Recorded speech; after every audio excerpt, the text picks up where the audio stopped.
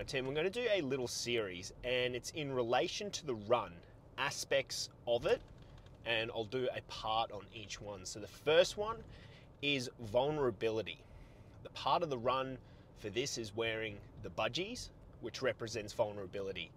And I think this is, and sadly, a bit of a pressing issue because as at the time of filming, it's been about 24 hours since news broke that we just had another soldier uh, tragically take their life.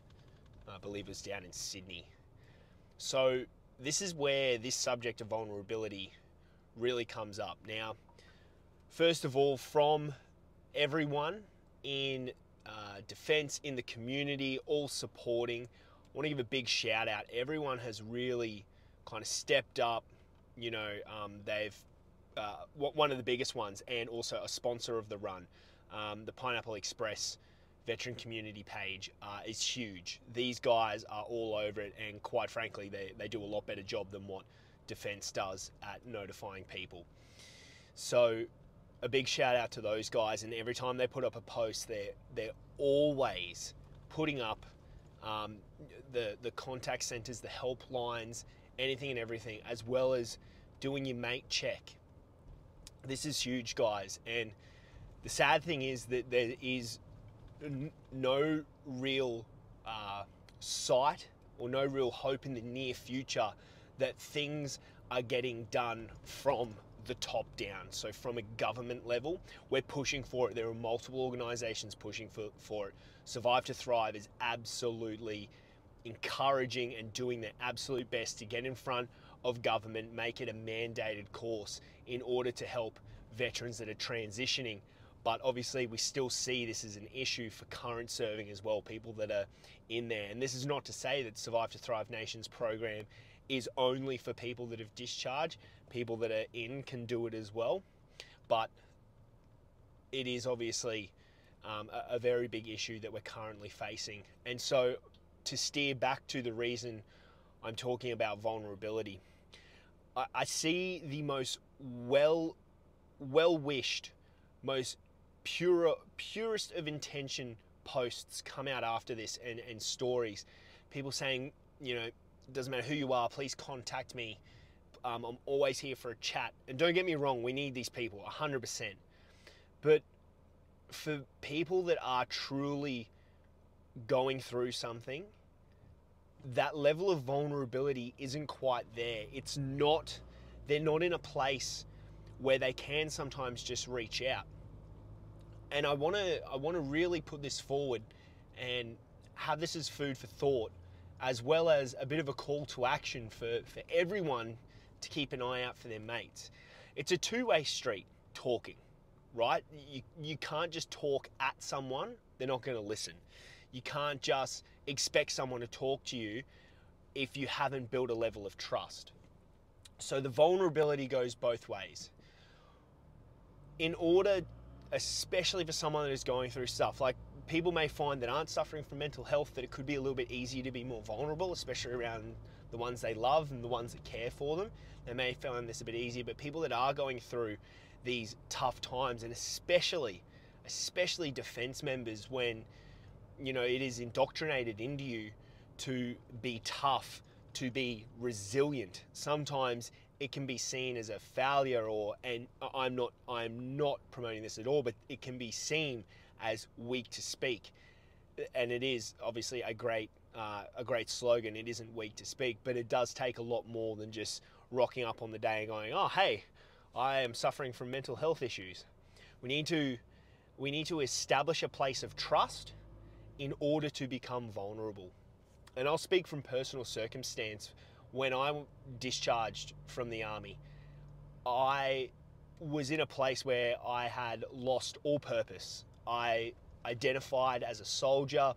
That was my job, that was my personality, that was everything. It was everything to me. I absolutely loved the army at the time, but I also knew it just wasn't, uh, I had to get out. And so upon discharge, sorry, there's some weird shadows, but upon discharge, once I got out, I didn't realize, but you suddenly go from having a purpose, from having people that are there for you, for having from having a team to having nothing. You are just another person with your own purpose, whatever that might be. And if you don't have one, then it can be tough to sort of find that purpose or find that reason for being again. And so I had to go, I went through this by myself, and I'm not recommending that for anyone. I, I didn't feel I was ever in a place to be vulnerable to people. I had th- probably the best support network that people could have. I had all I had all my mates, I had my family. Everyone was close. Everyone would always ask how I'm going and the constant throwaway response was, "Yep, good," and then try and divert the conversation away to something else. And this is where I again I want to say it's a two it takes two to tango. It's a two-prong attack. In order for you to feel in order for you to be vulnerable, you need to have that trust established. You need to establish trust. You need to, and it's not just obviously up to you, the person that is vulnerable, it's up to your friends as well. You need to establish that trust, and you, we need to let people know that it is safe, even when they're not going through something, to chat, to speak about what's going on, and to open up, but it takes time. And I think a really big thing here as well is when we are doing this and creating that um, that that place where we are able to become vulnerable, is that we need to really open up that dialogue and we need to watch for the nuances. And those nuances might be, excuse me, when you're talking to a friend, you may notice that they're starting to um, they're, they're starting to pull back. They may not be the same person, and it can start off as very very small things. You know, uh, mental health and anxiety, all of these things, they don't just, not always, I'm no professional, but not always, they don't just come on straight away. It's a build up and it's this constant chipping away that leads to not the inevitable, but to when people take their own lives, they feel like that this pressure is built up so much, and the only way to get rid of it, they feel like the only way that they can be free of this issue is from taking their own life, which is not the case. This is not what we want. So these nuances, watching for small little tells, it could be something like that you start to notice that they're if you're sending memes, maybe they're not sending memes anymore. They're not reacting to a funny meme like they used to. It could be when you guys meet up that, you know, they're potentially not talking about currently what's going on. They they may be reminiscing on certain things or they're constantly bringing up the negatives. And they're unable to find some joy as to what they used to find joy in. It can be other things like you just notice they don't smile as much anymore. Um, and like i said these things can come on slowly but if we establish this trust and we establish with these people that it is okay to be vulnerable that they know all the time that if there is something going on, they can reach out. They can let you know how they're feeling.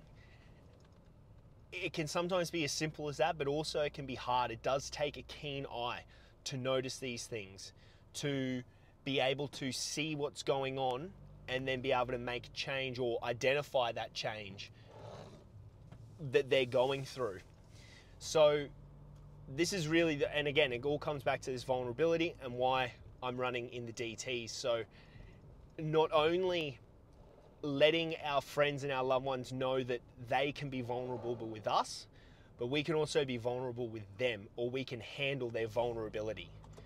We never want them to think that they're being a burden, and we might say that as much as we mean it, but sometimes actions speak louder than words. So, it may be a simple fact of you just inviting them over, or they may be alluding to the fact that they want to catch up, but not ask outright.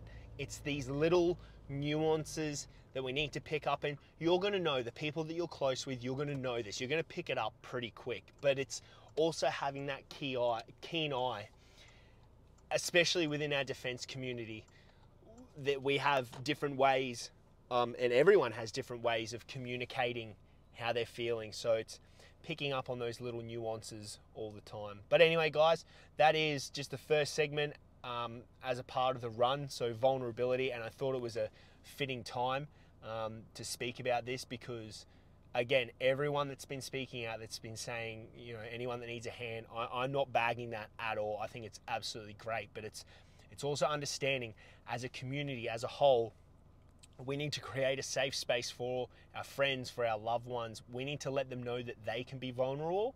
And then if we, if if you are going through something, you need to understand that being vulnerable, it is also a strong thing. Like it's strong to be vulnerable. It's it's not weak. To open up and be able to talk to people and communicate how you're feeling and especially asking for help, that is not weak. That is that is strength. Whether it's your mental health, whether it's business, anything, it is never weak to ask for help and be vulnerable. So like I said, it's a it's a two-prong attack. We need to let people know that they can be vulnerable. We need to establish this trust. But then if we're going through something, we need to be strong enough to be vulnerable and we need to you know make sure we have these relationships which we all do which can lead to open honest communication and potentially some breakthroughs or seeking help or just being able to lift some weight off our shoulders so that's all I've got to say on that topic for now, guys. Um, of course, I'll always be fighting the good fight. Um, like I said, it's not a throwaway, but if anyone ever has something going on, always welcome to reach out. Anyone is, you've got your support networks. My support network um, knows that they can reach out to me at any time. Come do a gym session. I, I find that's where I'm generally the most honest, is in a gym session when I'm pushing through some heavy weights. But guys, if you would like to help make a change, especially within defence for our veterans, for our veteran um, veteran communities, mental health, and this suicide epidemic that we are clearly going through, both current serving and former serving. If you'd like to help make a change, if you'd like to challenge yourself, come down to the Weight of War run um, on December 3rd down at Felons. You don't need to run, but if you want to, if you want to challenge yourself, I highly implore you to get behind that. Guys, if you want to just come down and have a great time, we're also got a, we're having a party down there, so we'd love to see you down there from 12 noon on the 3rd of December. Help get around everyone, and guys, if you would like to donate, um, and of course your money goes straight towards sponsoring veterans onto the Survive to Thrive Nation program. It is a proven program. Over 6,000 veterans have been on this program and have passed. There's been a 0% suicide rate from past people on this program. It is huge, it is working, and we need to get the word out. The more veterans we can get on this, hopefully, we can start to put a stop to this needless loss of life that our community is suffering from.